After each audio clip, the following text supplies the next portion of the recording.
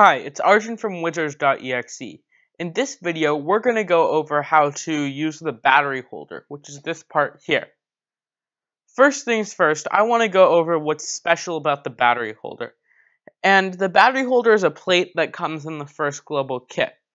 One thing that's nice about it is that the holes, the corner holes, are the same spacing as the ones on the control hub and the expansion hub, meaning that these holes have the same width as well as it has the same height, meaning that you can put them on the same rail as your control hub or expansion hub, which makes it easier to build your robot. Now I'm going to go over what you need to do this. So of course in your kit it comes with a Rev Slim Robot battery, but you also will use hook and loop fastener, as well as you're going to need something to cut with. Here I have scissors, but you can use really anything that works. So the first thing I'm going to do is I'm going to start unwinding the hook and loop fastener.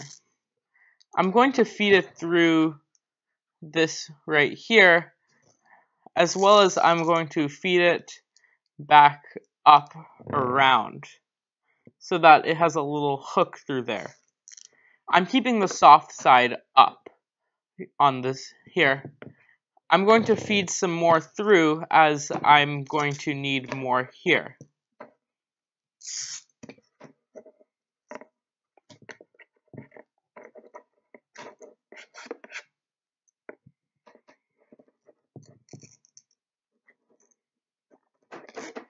Okay, now that I've gotten around that much, I'm going to put it back through and bring it out on the other side. So you can see I've pulled it out I'm going to make sure that that's fairly flat and I'm going to put it through the other side.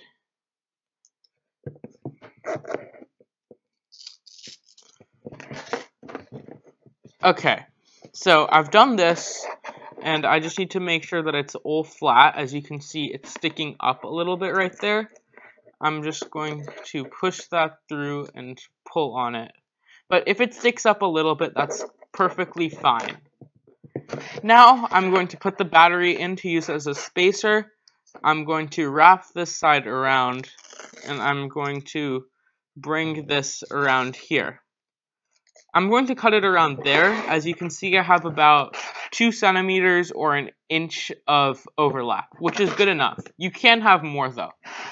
I'm going to cut it off right there.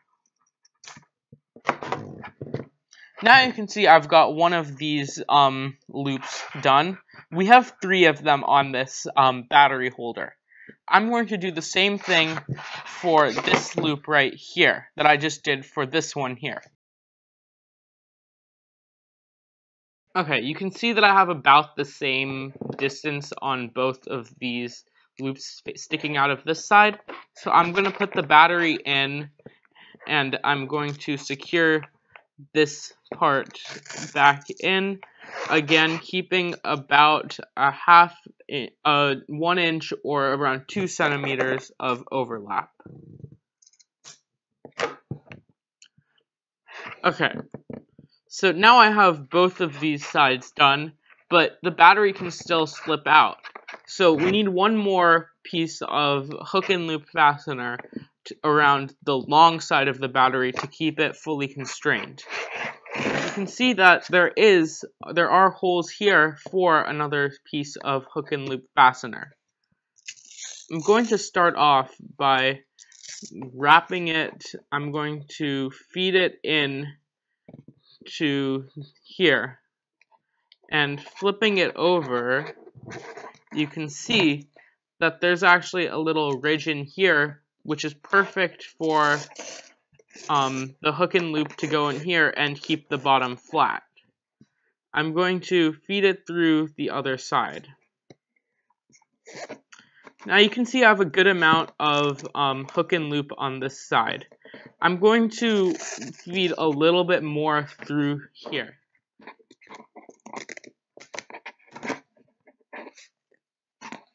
You can see that it's almost the full, full way around, which is good. We might need to shorten this a little bit later, but this is good enough for now.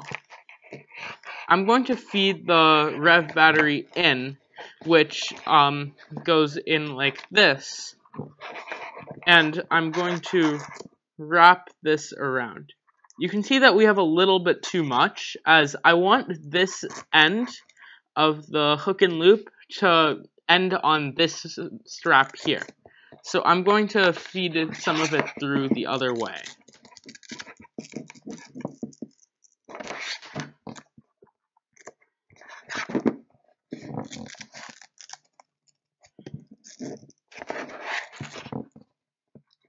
Great. So now we have this much done.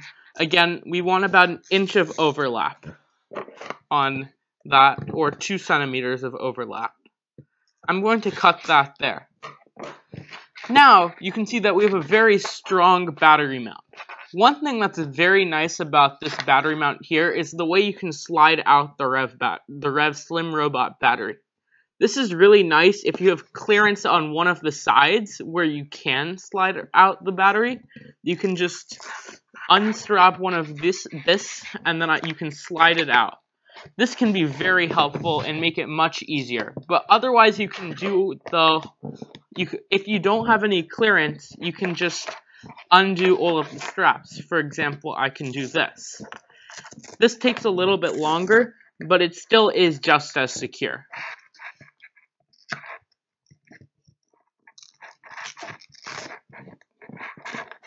This can get a little bit messy, but it still works completely fine.